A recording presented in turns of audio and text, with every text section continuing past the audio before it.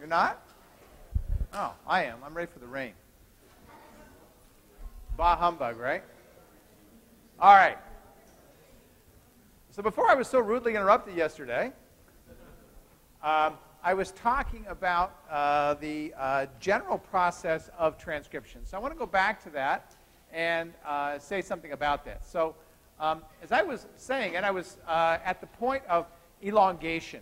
And elongation uh, of transcription um, occurs after the sigma factor has left. So you see the sigma factor is right here.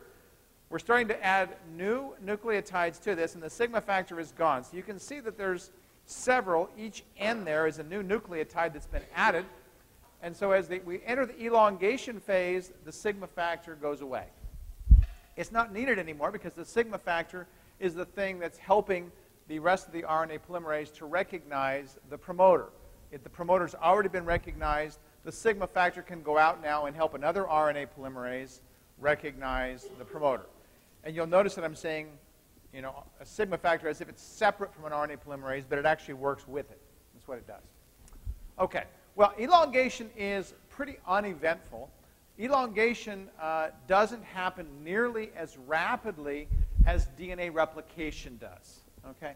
So DNA replication in, uh, in bacterial cells goes at the rate of about 1,000 nucleotides a second. Transcription, by contrast, goes at about 50 nucleotides a second. A lot slower. A heck of a lot slower. All right?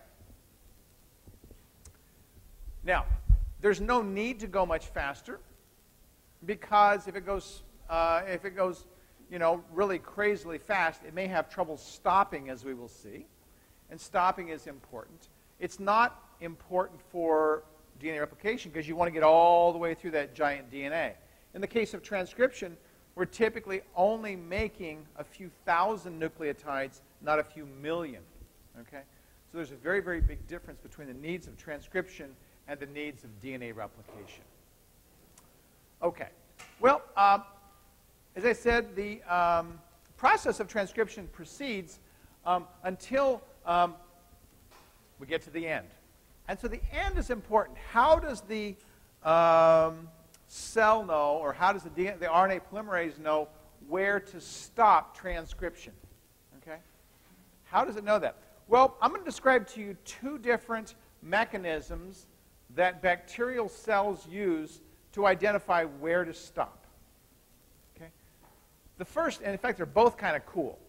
The first is called factor independent termination. Factor independent termination. Now, factor independent termination relies on a sequence in the DNA. It relies on a sequence in the DNA such that when the RNA polymerase copies that sequence, something kind of cool happens. Okay? Well, the sequence that's contained in the DNA is something we call an inverted repeat. Okay? And that inverted repeat, what an inverted repeat means is that the two parts that you see there are inverted with respect to each other. And you might wonder how that is the case. Here's the top sequence from 5' to 3', AA, G, G, C, T, C, C. And down here from 5' to 3' going from right to left, AA, G, G, C, T, C, C. They're inverted with respect to each other and they're repeated. That's what that means. Okay? Now, what that means is if an RNA polymerase copies that, then if I just read the top strand, I see AA, G, C, T, blah, blah, blah, blah, right? And then I come back down and I see GGA, GCCUU, and look at that. They can form a perfect set of base pairs. This creates something, and, and they will pair like that. If you put them next to each other, they'll just make base pairs just like that. You already saw how ribosomal RNAs, for example, can form base pairs within themselves. You saw some pretty elaborate structures of that. This is a very simple one. It's called a stem loop. Stem loop. Okay? It's also called, some people call it a hairpin. Okay? A stem loop or a hairpin. Now, the important thing is that that loop forms. All right? Well, here's the RNA polymerase. The RNA polymerase is just a little bit ahead of that. And the RNA polymerase has just finished making a U, U, U, U, U. What are UA base pairs like? They're weak, right? They're not as strong as GCs, right? There's not as many hydrogen bonds holding them together, right? Well, what happens is this guy forms, and the RNA polymerase was sitting on this flat messenger RNA until all of a sudden, spoink, this thing formed. All right? Guess what happens? Remember, this is sitting on the DNA because it's copying the DNA. It lifts the butt end of the RNA polymerase up. All right? It's physically lifting it up just like a jack on a car will lift a car up. It lifts the butt end of the RNA polymerase up, and the RNA polymerase was touching the DNA, and the RNA polymerase says, whoops. Right? And the RNA polymerase is loosened, and not only is it loosened, but now there's the only thing that's holding the whole thing together are these little UA base pairs, and they're not strong enough to hold it together. And everything falls apart. And in this case, falling apart is good because the RNA falls off of the DNA. The RNA polymerase falls off of the DNA. That bubble of the DNA where the strands were apart comes back together, and everybody's happy. What we have done is we have just terminated the process of transcription. And it happened because this sequence was contained in the DNA that was being copied. Now, many genes in bacteria have this kind of a structure.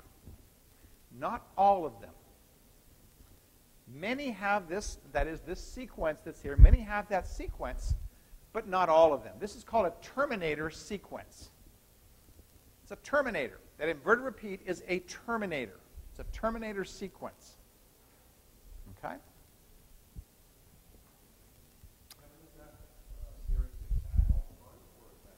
That's a good question. This is a pretty common sequence, but it's not absolutely exact. Good question. Okay. Well, but the point is that this is a nice way of, of, of stopping transcription at a very specific point, right? This means when the RNA polymerase gets there, it's going to get basically lifted off of the DNA, and transcription is going to stop. It's not the only way of stopping transcription because, like I said, not all genes have this sequence. Others rely on this other process I'm going to describe to you called factor dependent. And factor dependent is kind of cool in its own way as well.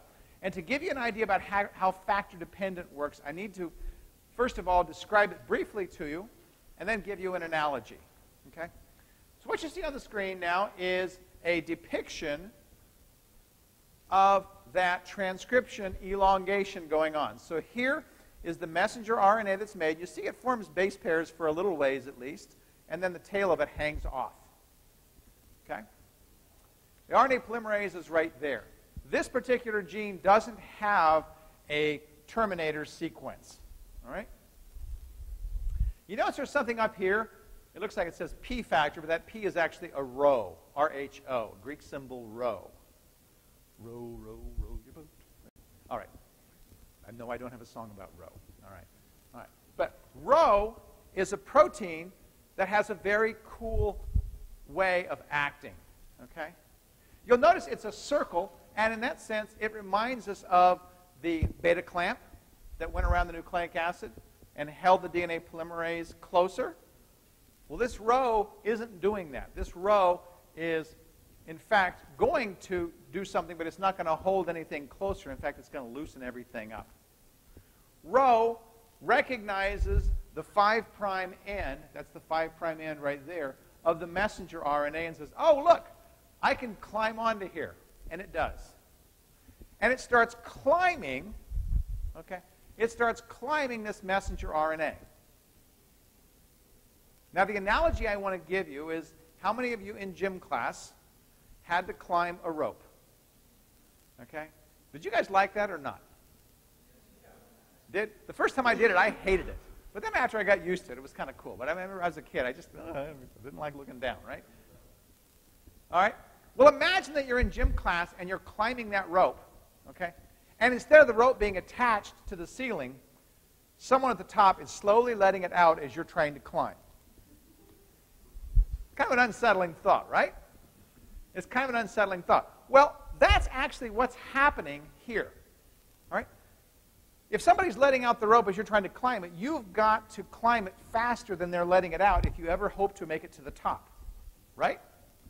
So there's a race between what you're doing and the, what the person at the top is doing letting the rope out. Well, the rope being let out here is the RNA that's being made by the RNA polymerase. This is a race. It's a race between how fast Rho climbs the rope, that is, the messenger RNA, and how fast the RNA polymerase is copying the RNA.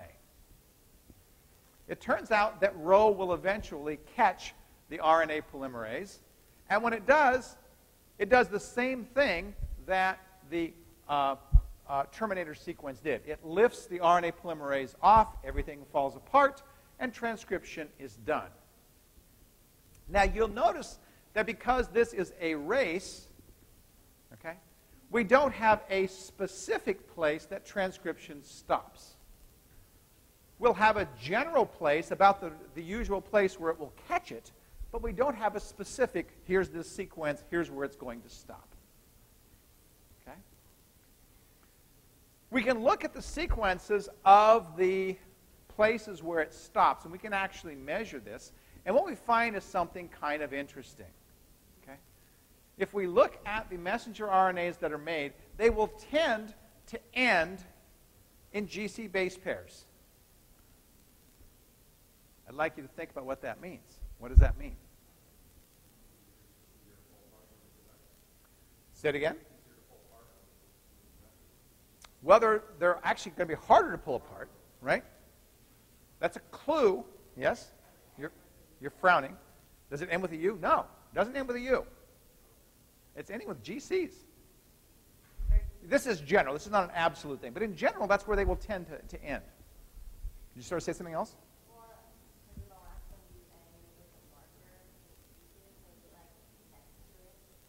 No, not quite. There's not a UA at the end.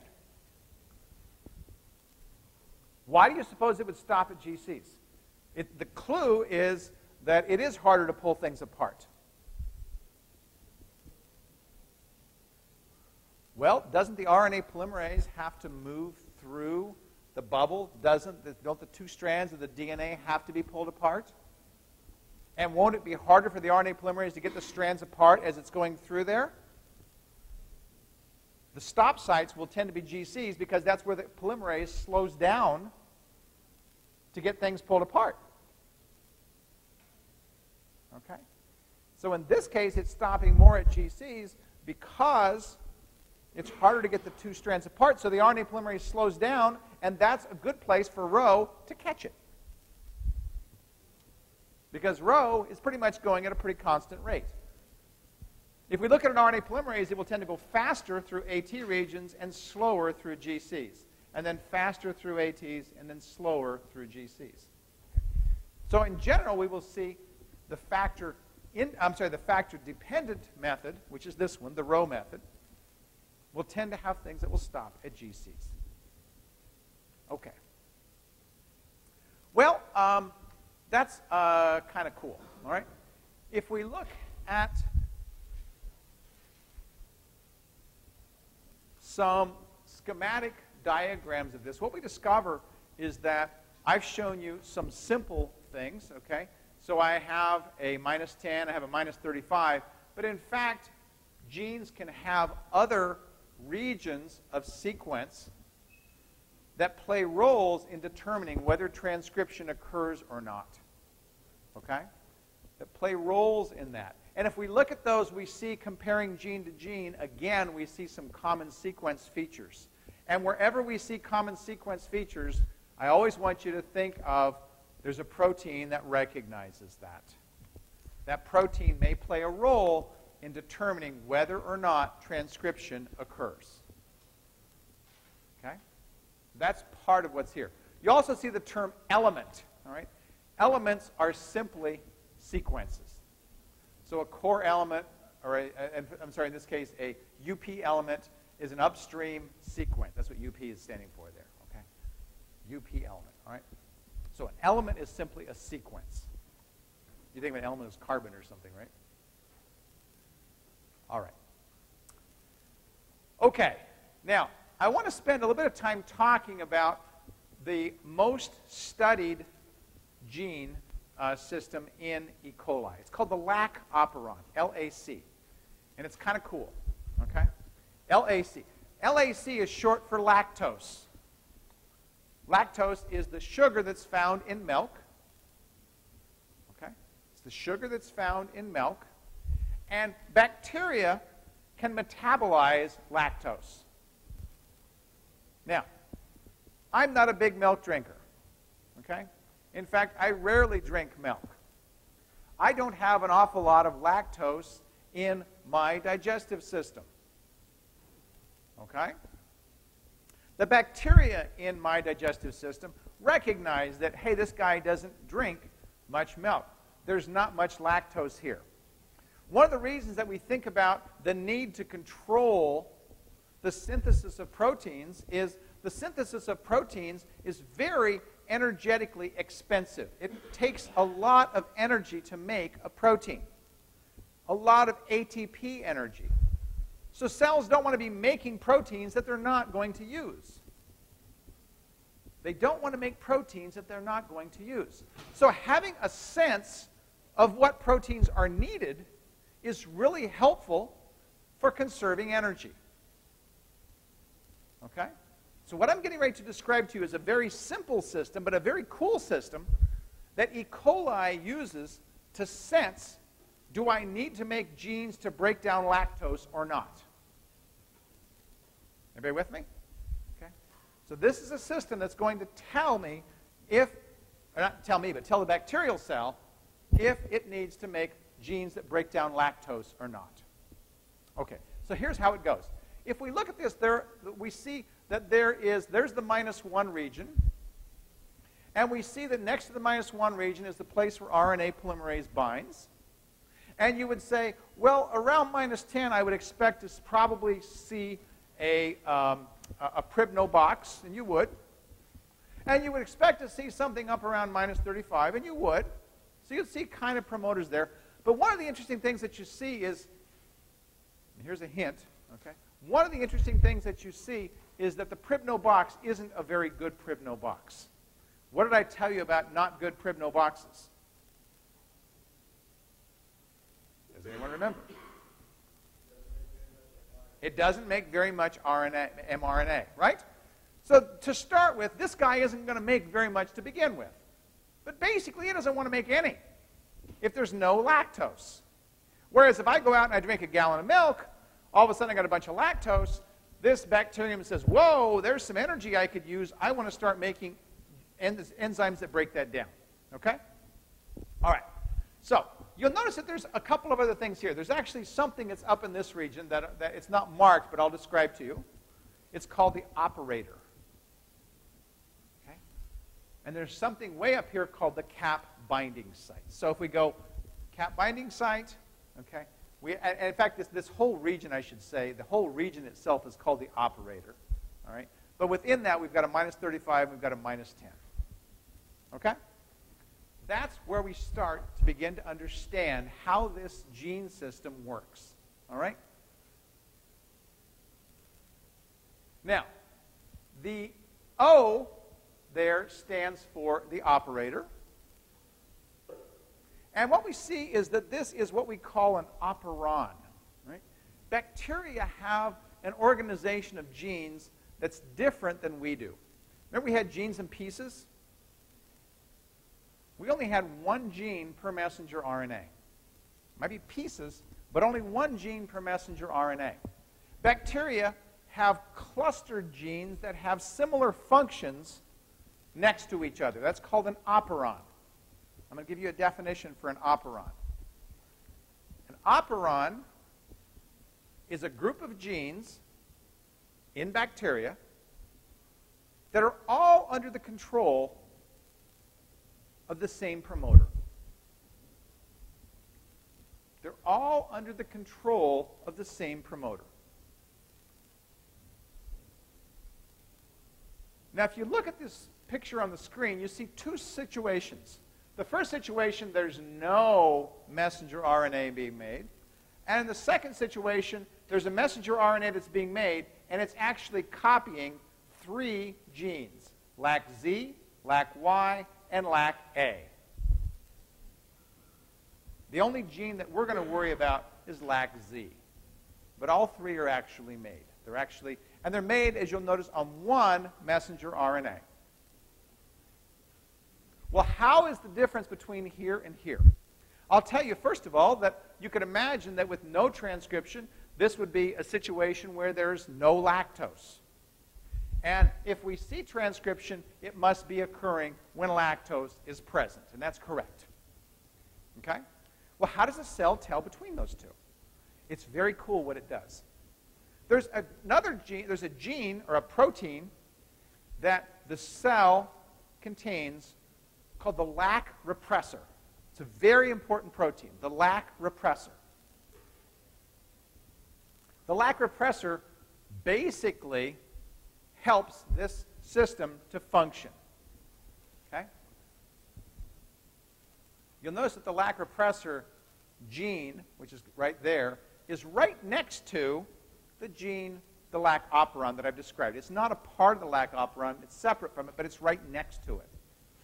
That turns out to be convenient. Okay? The cell is always making a little tiny bit of lac repressor. The cell is always making a little tiny bit of lac repressor. There's always a little bit of lac repressor in the cell. Its name suggests that it's repressing the lac operon, meaning repression, meaning it's turning it off, it's stopping it from being made. And normally, when there's no lactose present, that's exactly what the lac repressor is doing. How is it doing it? It binds to the operator. And when it binds to the operator, RNA polymerase cannot bind to the operator. Therefore, if RNA polymerase can't bind,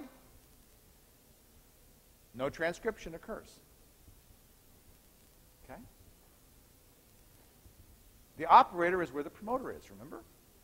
So therefore, the promoter is being covered by the lac operon. RNA polymerase never even sees the promoter. It can't bind. It can't start transcription. Very, very important. Okay. Well, what happens when lactose is present? If I go out and I have a bunch of ice cream, or I have a milkshake, or I drink a glass of milk. I get lactose in my system. And when I have lactose in my system, a little bit of that lactose makes it into these cells, the E. coli cells. Okay? A little bit of lactose makes it in. Remember we saw a lac transport protein earlier? I showed you a protein that was in the membrane that moved lactose. All right? Lactose makes it into the cell. It turns out that the lac repressor can bind to lactose.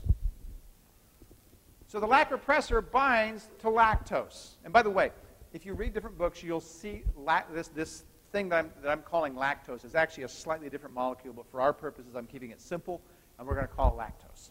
Okay? It binds to lactose. When it binds to lactose, the repressor, underline this, cannot bind to the operator. This is so simple, so cool, so beautiful. It's a way of telling the RNA polymerase, right? Lactose is present or not present. When there's no lactose, the repressor is not bound to lactose. It binds to the operator and turns off transcription. When lactose is present, the repressor binds to lactose. It can't bind the operator, and RNA polymerase can bind the operator and get started. Very simple. Simple systems are the best systems. This is a very, very simple system. Now, there's one other element of that's kind of cool. Okay? Remember, I said that the Pribnow box was not a very good one. What if the cell had encountered a whole ton of lactose? Wouldn't it want to make a bunch of genes? Oh, by the way, I should tell you what these genes do. LAC-Z breaks down lactose. LAC-Z breaks down lactose. That's why this, this operon is being made. So it can start breaking down lactose, and the cell can get the energy from the sugars in lactose. That's what this gene is allowing to have happen. All right? Very, very cool. So the enzyme is called, the, the enzyme is called beta galactosidase. You see its name down here. And it is the product of the LAC-Z gene. The enzyme that's made is called beta galactosidase. All right. I said that there wasn't very much of this messenger RNA being made, which means that there wouldn't be very much beta galactosidase. And what if the cell is, is swimming in lactose, which it would be if I drank a glass of milk? Okay? Well, it turns out there's one other protein that plays a role in this. Okay? Let's go back to the figure I showed you just a minute ago. You'll notice the operator was right here, which is where the lac operator was, uh, I'm sorry, where the lac repressor was binding, right? There's something over here called a cap binding site. Cap is another protein. And cap binds to this region right here, the cap binding site. Okay. What does cap do? Cap acts a little bit like a sigma factor. It actually helps the RNA polymerase to bind and to get started. So what it's helping the RNA polymerase to do is to bind, even though the RNA polymerase doesn't bind the Pribnow box very efficiently, this guy, this cap protein that sits right here, is helping the RNA polymerase to bind and get started. As a consequence, cap is making the RNA polymerase make a ton of the messenger RNA. When does cap bind to its sequence? Well, there's always a little bit of cap in the cell as well. The cap binds to the sequence when it binds to a molecule called cyclic AMP, or you can call it CAMP, C-A-M-P.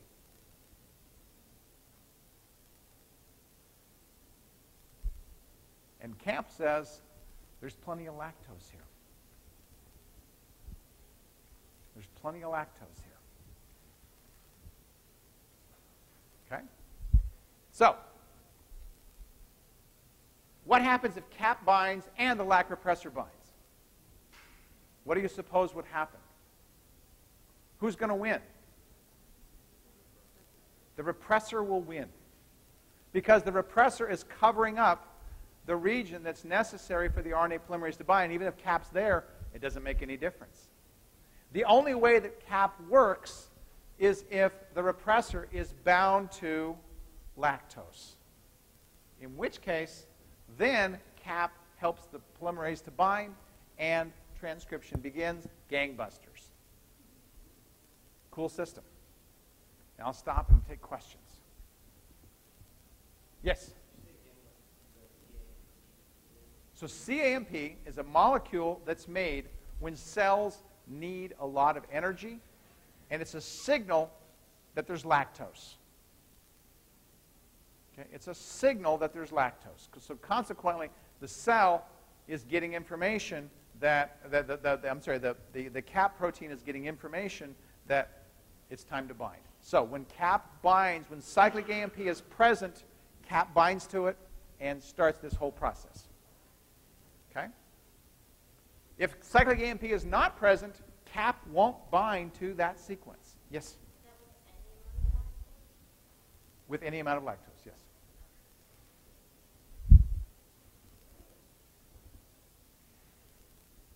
I keep saying it's simple, and I keep saying it's more complex, right?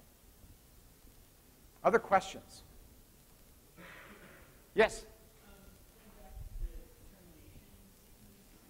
Yes?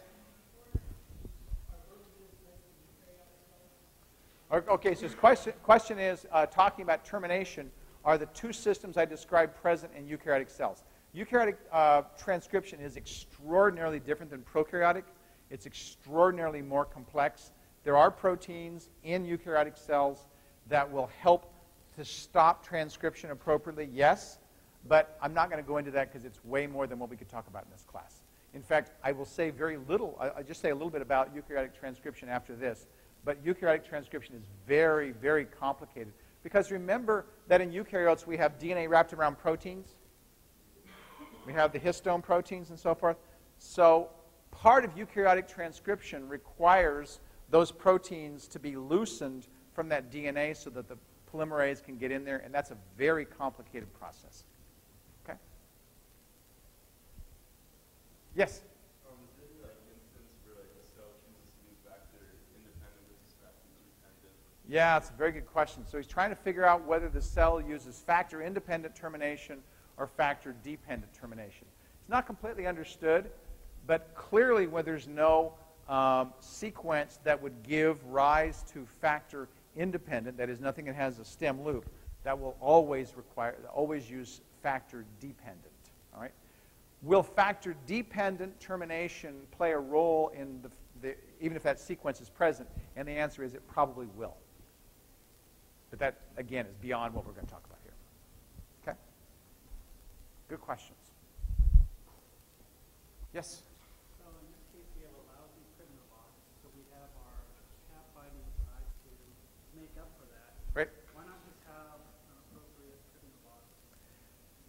Very good question. Okay. Question is, why have a lousy Pribnow box here? Okay. Why not just have a very efficient Pribnow box instead of having this cap business? Okay.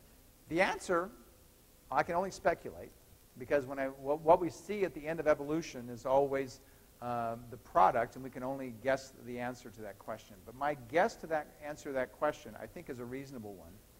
Okay, and that is the fact that without, let's, let's imagine that I get a signal that says, or the, the cell gets a signal that says, oh, there's lactose here, but we don't, you know, we're doing pretty well for energy. The cell probably doesn't want to make a ton of protein to break down lactose because it's already sitting pretty well for energy. It would be making more than it needed. So using that low efficiency Pribnow box would still give it about the level that it needed. What CAP is always going to do is it's going to kick everything into high gear, and then that's it. And so if I had a high efficiency Pribnow box, then the same thing would happen. It would always kick into high gear, and I wouldn't have a way of modulating, I wouldn't have a way of making a lower amount of messenger RNA. Does that make sense? That's probably why that's the case.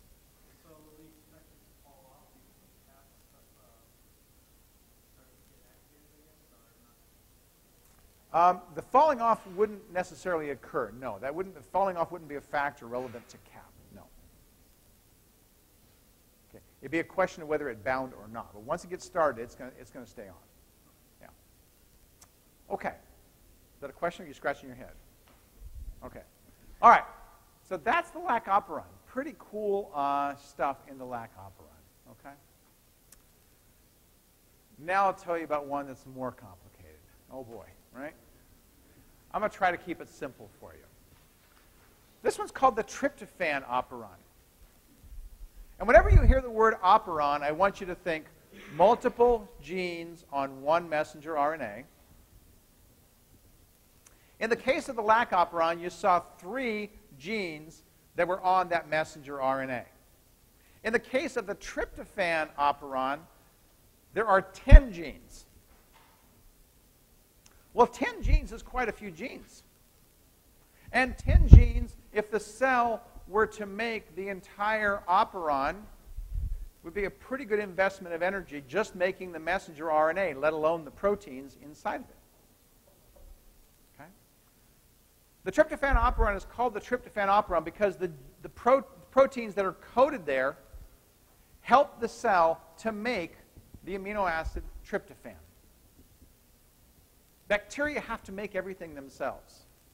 They're not like we are, where we get to eat amino acids that somebody else made. Bacteria have to basically make them themselves. Okay? Because it takes 10 genes to make tryptophan, or 10 proteins to make tryptophan, because it takes 10 proteins, the cell doesn't, definitely doesn't want to be making those proteins if it's got plenty of tryptophan. However, as tryptophan starts running low, the cell wants to be able to say, hey, you better make me some more tryptophan because we're going to run out. If we run out of an amino acid, we're hosed. So tryptophan in the cell will either be high or it'll be low. Okay? Keeping it simple. High or low. It will never run out of tryptophan because if it does, the cell's dead. Okay? So it's high or low. That's basically what's going on. All right. It turns out that this um, operon is controlled in a very unusual and interesting way. But as we will see, there are other operons that mimic it. Okay? This is what it looks like. We have an operator just like um, we had before. Okay? We have a whole bunch of tryptophan genes. This shows five of them. They're actually, I'm sorry, this, this shows um, one, two, three, four, five, six, seven. There are actually 10 genes. So you don't see the entire operon. There's also a region here called the attenuator. And the attenuator turns out to be a sequence that's coded in the DNA that gets made into the messenger RNA. Okay? Now, to understand how this process works, I have to tell you a little bit about how translation occurs. So, translation is the synthesis of protein. And translation occurs when a ribosome binds to the messenger RNA and starts reading the sequence. And the sequence is comprised of three nucleotide sequences called codons. Right? Each three nucleotides corresponds to a specific amino acid. So the ribosome reads that and says, oh, here's a UGA. That should be tryptophan. Okay? Here's, I'm sorry, UGG. Here's a, a UGG. This is tryptophan. No, you're not going to memorize the genetic code. Okay. I only know a couple of them myself. Right. Here's an AUG. Here's methionine. All right.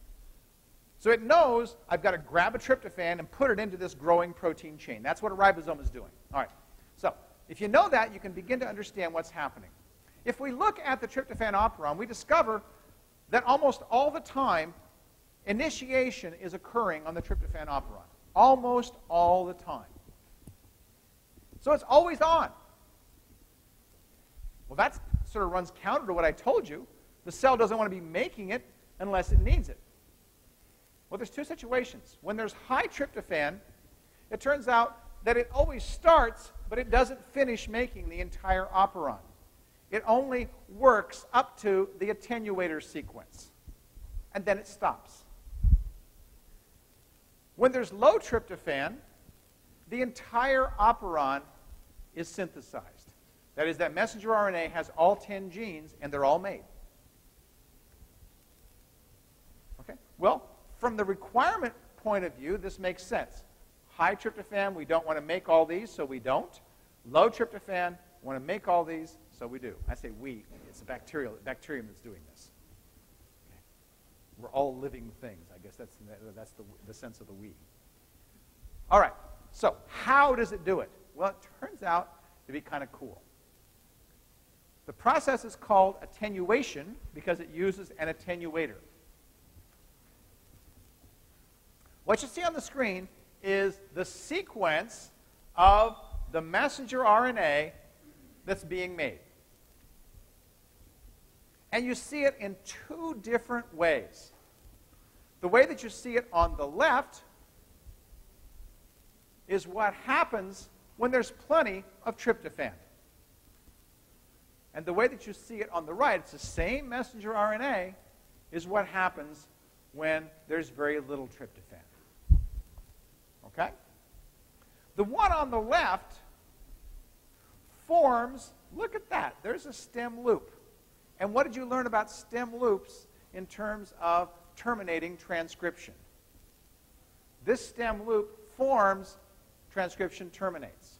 That's why it makes that little short messenger RNA. That attenuator sequence has a terminator in it. And there's the terminator. Well, why doesn't it form over here? It turns out it doesn't form over here because if we look at this, we can see this guy can really form base pairs in two different ways. Here is what, the green is what I'll call sequence number one.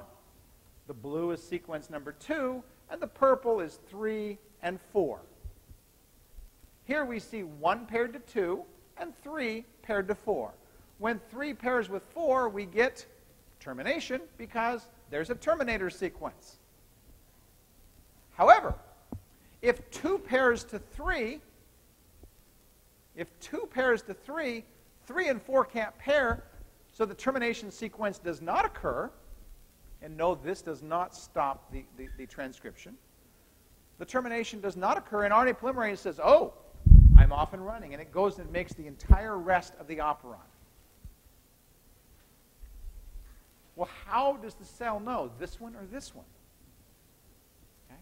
You understand that this is a terminator, this is not a terminator, right? Don't say yes if you don't. Professor will always say that, right? So I don't want to hear anybody question me about my stuff, right? right? That makes sense? Termination, not termination, right? Plenty of tryptophan, little tryptophan. How does plenty of tryptophan cause this to happen, but not this? I'm going to describe this one on the right to you first. Okay? Remember, I said in bacterial cells that transcription and translation are both occurring pretty much at the same time. I showed you that messenger RNA being made, and I showed you the ribosomes slithering their way along there, translating that protein as the RNA polymerase was doing its thing. The RNA polymerase is about up here. And it turns out that the ribosomes say, oh, there's the 5' end of a messenger RNA. Let's start translating that into protein. So the ribosome comes on here, it grabs a hold, and it starts reading three base sequences one at a time. Look at what is there. UGG, UGG. And looky over there. UGG stands for tryptophan. When the ribosome hits that UGG, it looks for tryptophan because it needs to put tryptophan into this protein that's being made. But what if tryptophan is low? The ribosome is going to sit there and wait for more tryptophan. It's going to take longer for tryptophan to be found by the ribosome. The ribosome is going to do what we call pausing. It's going to sit and wait for tryptophan. There's no tryptophan, or there's little, I shouldn't say there's no, there's little tryptophan. It's going to take longer. So the ribosome goes slow through this sequence right here. When the ribosome is covering up one, one can't pair with two, so two pairs with three. And when two pairs with three, three can't pair with four, no termination. Okay? Pretty cool. On the other hand, when there's plenty of tryptophan, the ribosome, amazingly enough, can go slithering through this whole thing, and it doesn't stop at, at the UGGs. It just goes on and does its thing. Consequently, one can pair with two, which leaves three to pair with four, and we get termination. So the amount of tryptophan that's present will determine whether that forms or that forms. Low tryptophan, slow ribosome, high tryptophan, fast ribosome. Slow ribosome no, uh, forms 2 and 3. Fast ribosome lets 3 and 4 to pair. Clear as mud? I'll slow down.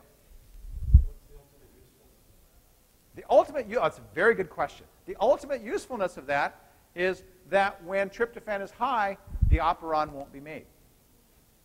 When tryptophan is low, the operon will be made, and then the cell will be able to make more tryptophan. Now, as I said, this is an odd-looking thing. You think, why has he made us, make, made us learn an odd-looking control thing? It turns out that this is not the only operon in E. coli that uses this. Other amino acid operons do exactly the same thing. Valine operon. Instead of having a tryptophan tryptophan there, it has four or five valines right there. Same phenomenon. Exactly the same thing happens. Isoleucine. Exactly the same thing happens. So this system is very efficient because it's giving the cell a very good measure of whether or not we need to make this operon. Okay? Yes?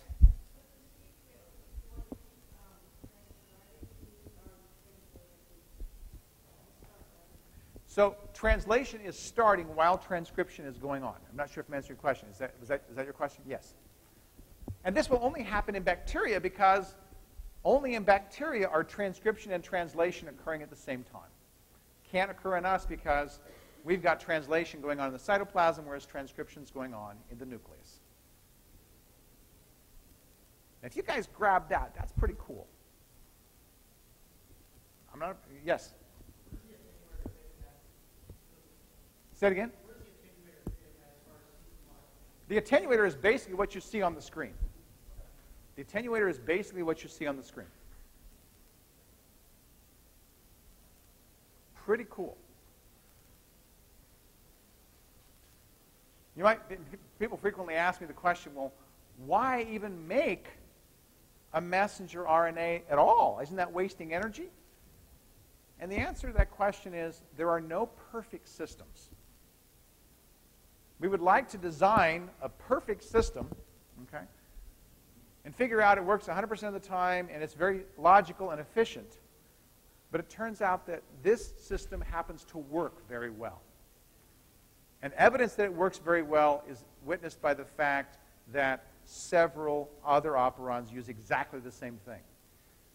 So the cell loses a little bit of energy. It's making a messenger RNA that's not very useful to it. But it's willing to sacrifice the energy necessary for that by having the ability to control and make the proper amount of proteins for making the uh, needed amino acids. Yes? This, this guy is always being made. That's correct. It's always being made. So the question is, is it being made and stopping, or is it being made and continuing? These are, these are, yeah, this is the same, this sequence is the same as this sequence. So this sequence is in part of the attenuator. That's correct. All right, you guys are looking a little tired. Should we do a song? Okay. Let's do a song. This is a song that's easy to sing. I want to hear you guys loud. Everybody ready?